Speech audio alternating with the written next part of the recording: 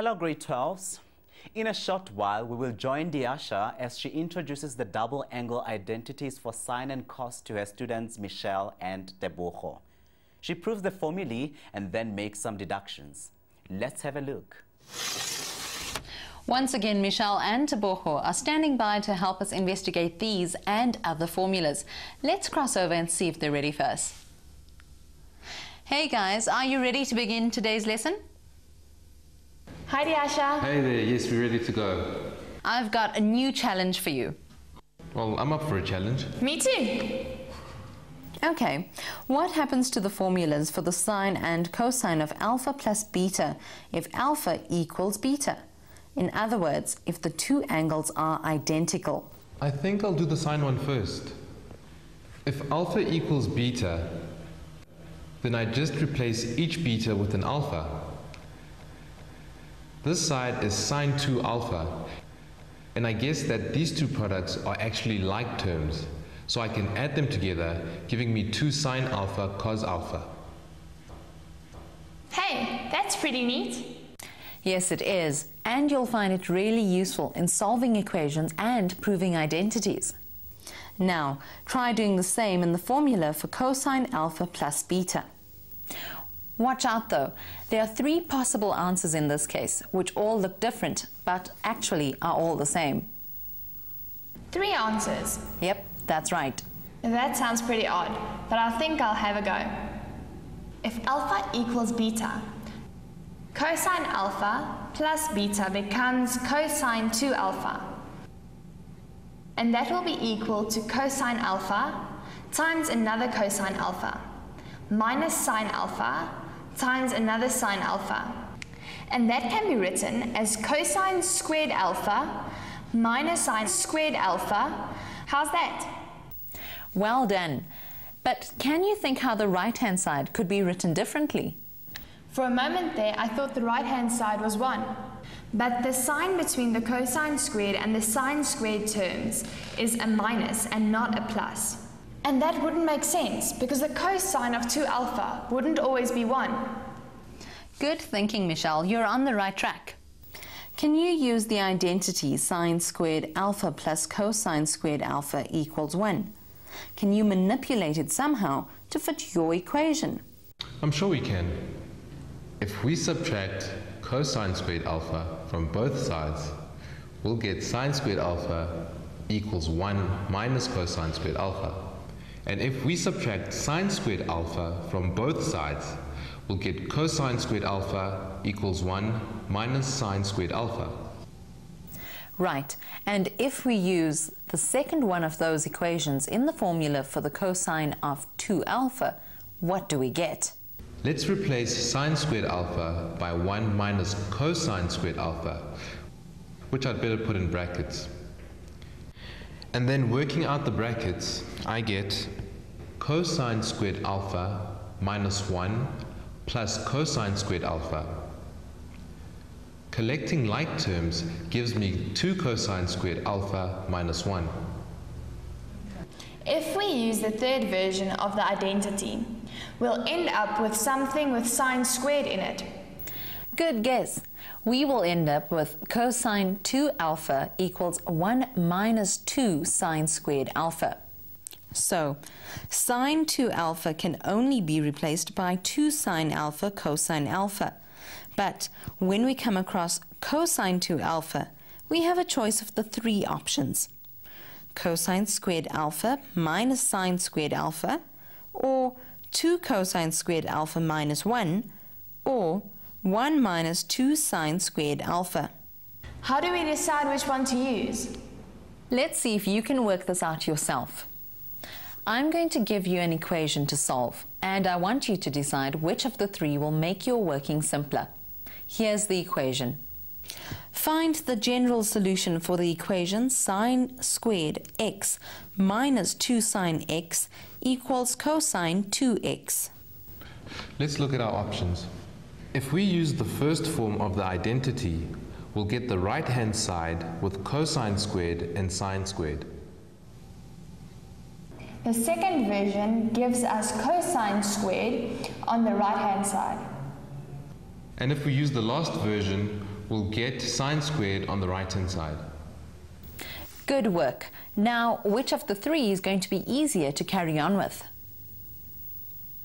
Well, uh, the third looks more promising because there are only two signs and sine squared on both sides. I can simplify it to 3 sine squared x minus 2 sine x minus 1 equal to 0. That looks like it can be factorized. That's it. The sine x term is the key. So go ahead and solve for x. Okay, here goes. I need two brackets. The numbers are easy. It's 3 and 1. And 1 here and here. So let's see. Wait. So that's sine here and here. I'll need a plus in the first bracket and a minus in the second bracket to make sure the middle term, minus 2 sine x, will be negative. Sine x is minus a third or 1. I'm going to need my calculator for the minus minus one third. But the 1 is simple. That part gives me x equals 90. Remember that it can also be 90 degrees plus k times 360 degrees for k any integer. Sine x usually has two possible basic angles. Why do you think this answer gives only one? Well, for sine, the two basic angles are in the first and second quadrants. The two possibilities are the angles given on the calculator and 180 degrees minus the angle. But in this case, 90 and 100 and 80 minus 90 both come to an answer of 90 degrees. Right, we dealt with sine x equals 1. Now, let's get back to the rest of the solution. Minus a third is not the sine of a special angle, like minus 30 or 45 degrees. So let's work it out on a calculator. 1 divided by 3, change the sign to a negative, inverse, sine, gives you an answer of negative 19,47. I'll round that off to 5.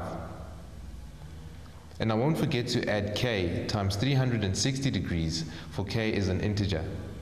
Negative 19 and a half will be in the fourth quadrant. So now we still need the answer that could be in the third quadrant, where sine is also negative. So it can also be 180 degrees plus 19,5 and that's 199,5 degrees. Plus k times 360 degrees. That was a long sum with many steps. Let's take another look at what we did. You were asked to find the solution to this equation. You used one version of the trig identity for cos 2x to get an equation with only sine and sine squared in it. You simplified this equation to get a quadratic and then factorized. Sine x equals 1 gives us a basic x value of 90 degrees. Sine x of minus 1 third, we worked out values for x of minus 19,5 and 199,5. We also noted the other possible angles that are equal to x plus k times 360 with k an integer. I have one more identity for you to do. Be careful because this identity has exceptions. By that I mean that although the statement of equality is true for almost all values of the variable, there are some exceptions. Can you suggest what the problem values might be? Sine x and cosine x are all defined for all values of x, so that can't be an issue. Perhaps we need to examine values of x for which one of the denominators is 0. The identity won't be valid if either cosine 2x is 0 or cosine x minus sine x is 0. So if the angle 2x equals 90 degrees plus k times 180 degrees, the identity is not valid. That's when x is 45 degrees plus k times 90 degrees. So the identity is not valid for 45 degrees, and minus 45 degrees. Or for 135 degrees or minus 135 degrees, and so on. Great stuff, Michelle. Now, what about when cosine x minus sine x is equal to zero? Adding sine x to both sides and then dividing both sides by cosine x, we get tan x equals 1. This will be true when x is 45 degrees plus k times 180 degrees. And substituting integers for k, we get 45 degrees minus 135 degrees, 225 degrees, and so on. Do you see that these exclusions are similar to the first ones you worked out? So do we only need to consider one of the denominators? No, you will need to work out the exclusions based on each denominator separately. Oh, okay, I see that now. Back to the question, now that we know which values to exclude. Can you prove that for all other values of x, the left-hand side equals the right-hand side? Let's try it out, Michelle. Okay. I can see that I'll need double angle identities because the equation uses x's and 2x's. Sine 2x can only be 2 sine x cosine x, but I'll need to find the easiest version for cosine 2x. That's not serious. If you choose unwisely, you might just need an extra line or two in your proof. Well, this time the numerator already has both sine and cosine in it. And the right-hand side also contains both sine x and cosine x. I think we should try replacing cosine 2x by cosine squared x minus sine squared x. But now I'm stumped. What about factorizing the denominator? You mean as the difference of two squares? I could do that, but I don't see how it will help. Look at the right-hand side and you might get a clue. Well, I don't see it yet, but let me factorize anyway. That would give me cosine x plus sine x times cosine x minus sine x in the denominator. And does that show any promise? Not really, but except that one bracket is what I need to end up with. So, the other bracket needs to cancel out, somehow or another. You're absolutely right. The trick to use is to write the 1 in the numerator as sine squared x plus cosine squared x. But that would make the numerator more complicated, not simpler. It might seem like that at first, but just try it and see what you come up with.